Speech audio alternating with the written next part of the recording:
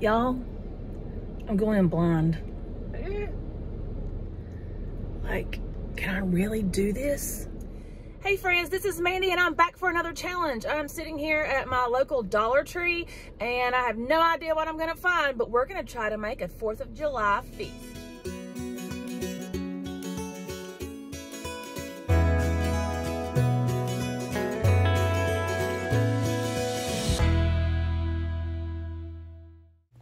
So the first thing I start looking for is the main items. So I see these frozen beef patties. There's only two in there.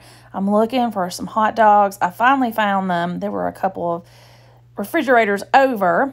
So I've got a kind of idea here for what I could do for the entree. But now I've got to figure out the sides. So I'm looking. I do see some eggs. I see some cheese. Here is some chili, so that's an option. But, um, I don't know, Sloppy Joe's. I do see these cake mixes, and I do want to include a dessert. So once I see the jello and the white cake mix, I realize that I've got a plan for dessert. I also go over to the bean section. I'm thinking about doing something like a three bean salad. But then I see the pork and beans, and I'm from the South, y'all, so you know exactly what I started thinking. And this is a big can, so I thought that was a better deal. Okay, I'm back in the car. We did it. I feel pretty good about what I got. I'm interested to see how it's going to turn out. So I'm gonna take you home I'm gonna show you what we got. We're gonna get to cooking this 4th of July barbecue feast. Not really a feast. I mean, I don't know, it's from Dollar Tree. But then stay tuned to the end because I'm going to compare the cost of what I got to what it could have been if I had gone to Walmart. So here we are back from Dollar Tree. Here are the items we got to make a 4th of July barbecue cookout type of situation here. We're going to take these things and we're going to turn it into a 4th of July celebration. My total was $20.52. That's after tax. I started with this seasoning blend so I could have some flavor. I got onion, celery, red and green bell pepper, parsley. I'm going to be using that across several of my items. I got three cans of whole potatoes. I got two cans of pork and beans. I got blue and red sprinkles, some sweet brown sugar barbecue sauce, a white cake, hot dog buns with the hot dogs. I got some strawberry jello, some Cool Whip, two of these beef patties, and six eggs. And so I'm going to turn all of this into a barbecue dinner. The only thing I'm gonna be using from my pantry is salt and pepper. I'm gonna be using mayonnaise, mustard, and ketchup. I figure most people have ketchup and mustard and mayo in their house, but I do wanna give you a tip on how you can get some free condiments. I pulled these out of my fridge. Whenever you go get fast food, whatnot, eat out, ask for extra, and then keep it in your fridge.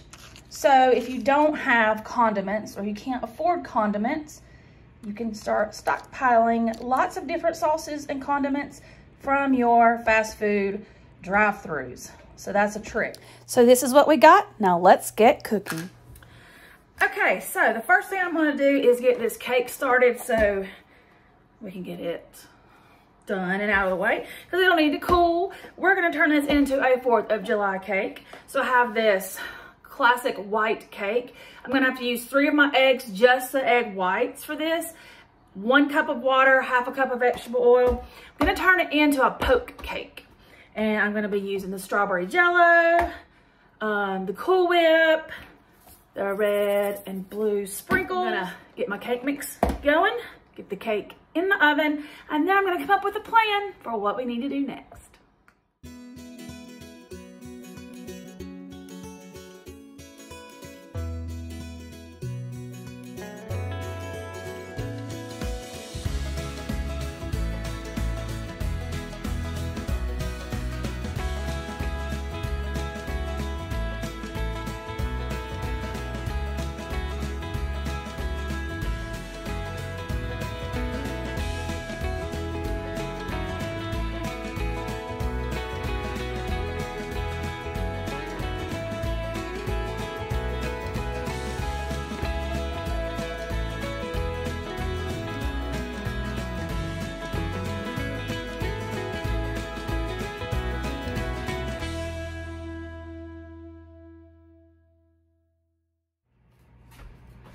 So like, it says to take the back of a wooden spoon, but look, mine are square and flat like that.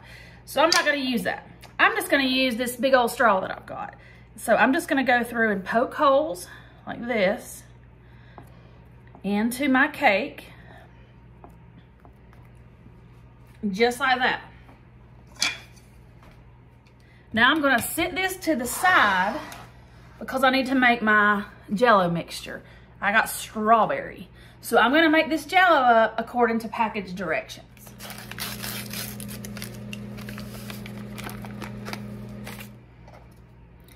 Okay, I'm gonna pour in one cup of boiling water. Give this a stir. Let that sugar dissolve.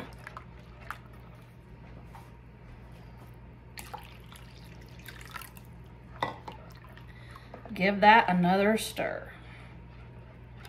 We're gonna pour our jello mixture.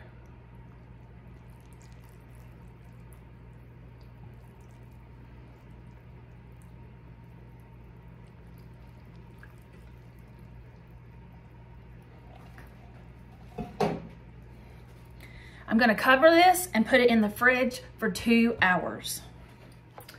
Okay, so now that my cake is cooling in the fridge, I'm gonna start working on a couple of other things. Okay, so I'm going to try to do something I've never done before. I'm gonna take these cans of whole potatoes and I'm gonna try to make potato salad out of them. So I'm very interested to see how that's gonna turn out. I took the remainder three eggs that I had, I already hard boiled those. Um, I'm gonna be using this frozen seasoning blend. I'm gonna be using it in both sides. So it's frozen, and so I'm trying to think about how I'm going to do this. And what I think I'm gonna do is I'm gonna start out by sauteing all of this in my skillet. And then I'm gonna take half of it out or split it in half so I can use half in my potato salad, half in my baked beans. So let's get over to the stove. So I'm going to be making baked beans in my cast iron skillet with the two cans of pork and beans, but I want to use some of that seasoning blend. So I'm going to go ahead and saute the seasoning blend here in my cast iron. I've got it heating up, and then we're going to use half of it in the beans, half of it in the potato salad.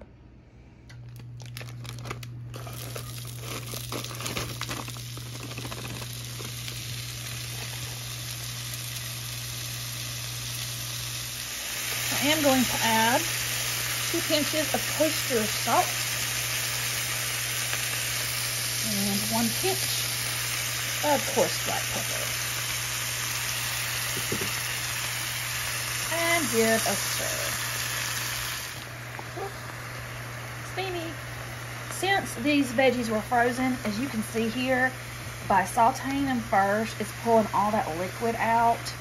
And that way it doesn't have all of that extra water in our beans and our potato salad. So I'm just going to continue to saute this, let that liquid cook out, and then we'll be ready to make our sides. It has only been like two minutes and you can see all that liquid has cooked out. So I'm to go ahead and take half of this out for the potato salad. Now to my cast iron skillet, I'm going to add these two beef patties, but I'm not going to keep them as hamburgers. I'm going to kind of ground those up there in the pan. I like hamburger meat in my baked beans. So let's get these hamburger patties broken up.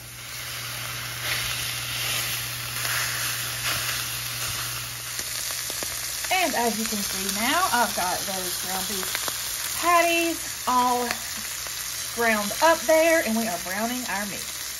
Once the meat has cooked through, we're gonna add our two cans of pork and beans.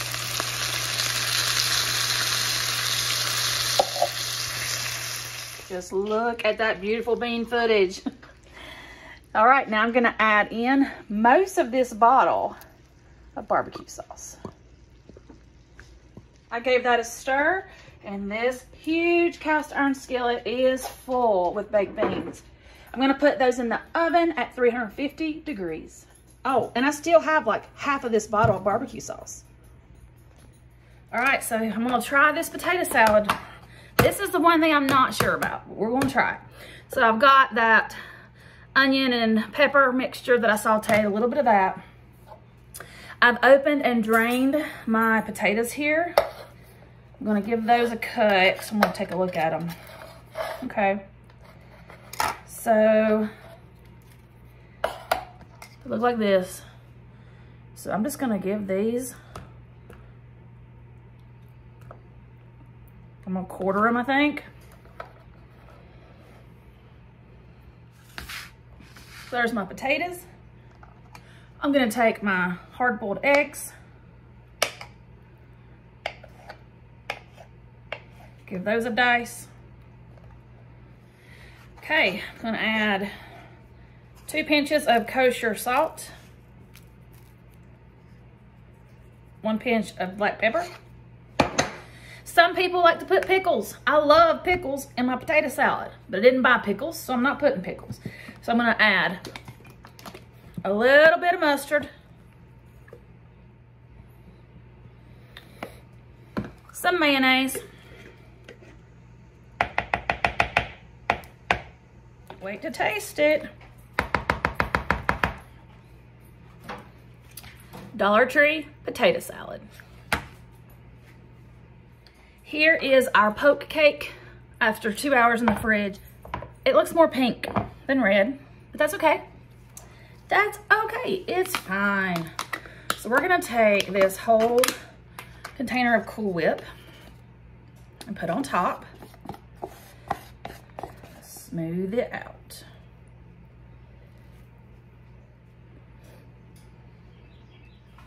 Now we're gonna take our red sprinkles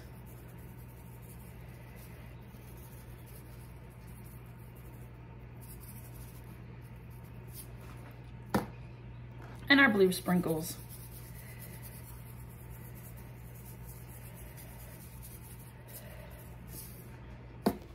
I think this turned out so pretty and looks kind of like fireworks on top. That's a 9 by 13. That's a lot of dessert. So that's everything cooked or prepped, except for the hot dogs. So I'm gonna go cook the hot dogs, and then I'm gonna show you our plates. I think we've done pretty good. Here are those baked beans out of the oven. I baked them for about 40 minutes. Oh my goodness, they smell delicious. And here is my plate. I have a hot dog, the potato salad, the baked beans. This all smells and looks amazing. And we can't forget about our strawberry poke cake. This is what it looks like on the inside and it is so moist and so delicious. You definitely have to give this a try. Okay, I'm not gonna taste test the hot dog because I mean, it's a hot dog. But I do want to taste for you the potato salad and the baked beans. I'm gonna start with the potato salad. Here I have a bite with the seasoning blend, the potatoes, some egg.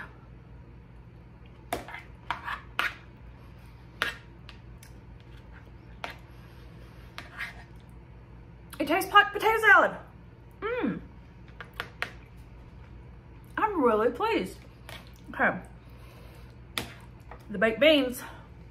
Here we go.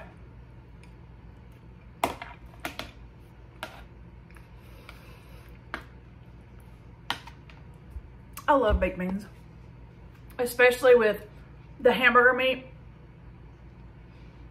and the barbecue sauce. Mmm, yummy. I was skeptical, especially on the potato salad.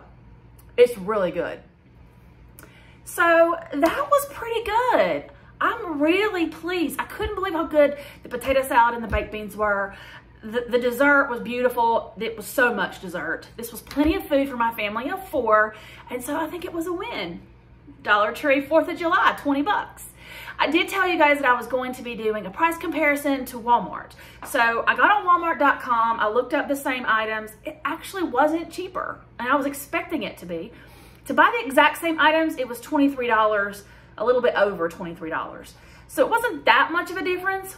I think I could have whittled it down if if I had, instead of bought the canned potatoes at Walmart, I could have gotten a few fresh potatoes, little things like that, but I don't think it was gonna make a huge difference. So thank you for watching. I hope that you like this video. If you do, please like, subscribe if you haven't already. Leave me comments down below because I love to talk to you. And from my family to yours, happy 4th of July. Till next time, bye.